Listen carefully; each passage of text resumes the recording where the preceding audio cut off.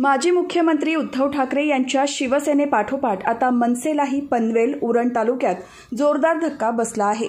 मनसेचे माजी जिल्हाध्यक्ष अतुल भगत यांच्यासह आजी माजी असे एकूण पासष्ट पदाधिकारी मुख्यमंत्री एकनाथ शिंदे यांच्या उपस्थितीत शिंदे गटात सामील झाले आहेत. महाराष्ट्रात मुख्यमंत्री एकनाथ शिंदे यांच्या नेतृत्वाखाली भाजप शिवसेना युतीचं स्थापन झालं. त्यानंतर शिवसेनेतील अनेक पदाधिकारी हे एकनाथ शिंदे यांनी घेतलेल्या हिंदुत्वाच्या मुद्द्याला पाठिंबा देत शिंदे गटात सहभागी होत आहेत. त्यातच आता इतर पक्षातील पदाधिकारीही शिंदे गटात सहभागी होत आहेत.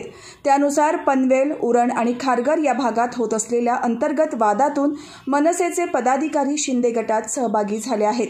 यात मनसेचे माजी जिल्हाध्यक्ष अतुल भगत यांनीही शिंदे गटात प्रवेश केला आहे. मागील आठ वर्षापासून ते जिल्हा अध्यक्षपदावर कार्यरत होते.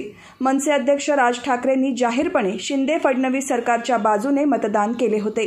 विधानसभा अध्यक्ष निवडीवेळी विश्वासदर्शक ठरावावेळी मनसेचे एकमेव आमदार राजू पाटील यांनी राज ठाकरेंच्या आदेशानंतर सरकारच्या बाजूने मतदान केले. त्यानंतर राष्ट्रपती निवडणुकीतही मनसेने त्यांचे मत एन डी एच्या उमेदवाराला दिले होते. त्यानंतर अशा प्रकारे मनसेचे पदाधिकारी शिंदे गटात सहभागी केल्यानंतर मनसे आणि शिंदे गटात वाद होण्याची शक्यता आहे.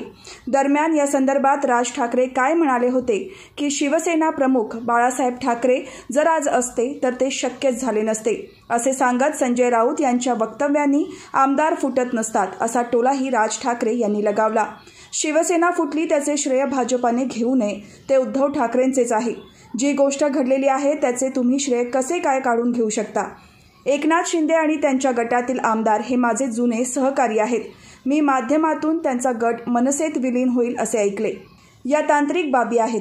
जर शिंदेंना गरज पडली तर आणि त्यांच्याकडून प्रस्ताव आला तर मी त्या चाळीस आमदारांना मनसेमध्ये विलीन करण्याबाबत विचार करेन असे राज ठाकरे म्हणाले होते.